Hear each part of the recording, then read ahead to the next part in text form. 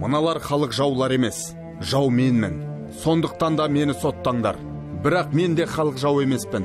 Халық жауларының жауымын. Ал ондай жау болуым 1932 жылы командировкамен кентке келгенімде басталды. Жан жағыма көз салсам бір ошақта үлкен қазан қайнап отта тұр. Бірдеңе пісіп жатыр.